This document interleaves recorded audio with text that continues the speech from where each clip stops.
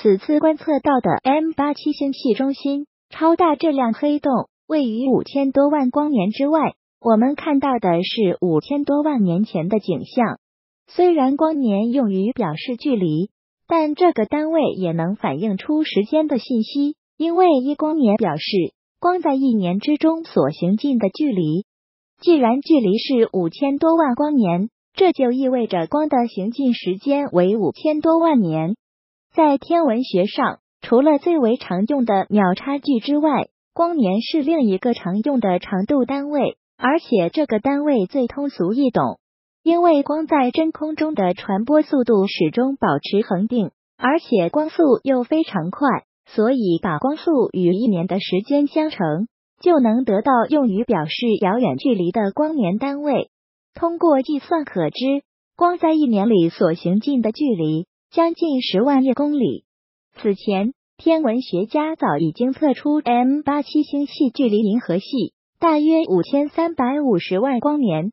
而这个超大质量黑洞位于 M 八七中心，并且 M 八七星系的尺寸远小于它与我们的距离。所以，该黑洞与我们的距离也差不多是五千三百五十万光年。虽然黑洞会把光吞噬掉，我们无法通过天文望远镜观测到这种极端天体。然而，黑洞的强大引力在吞噬周围物质时，会把物质加热到极高的温度，从而使其周围发出亮光。这些亮光可以映衬出黑洞的阴影，从而就能知道黑洞的存在。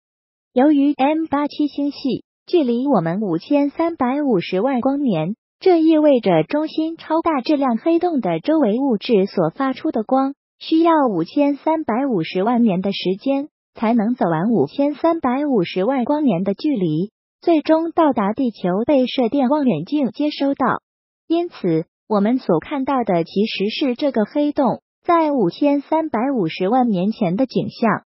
如今，该黑洞什么情况不得而知。只有在过五千三百五十万年之后，当黑洞周围的物质在现在发出的光最终到达地球之后，才会知道。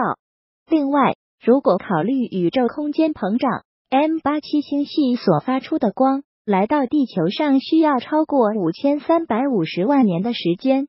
因为这个星系随着空间膨胀正在远离银河系。但由于距离较近，它的退行速度不快，所以可以忽略空间膨胀效应。如果喜欢本视频，请分享并订阅本频道，别忘了按赞我。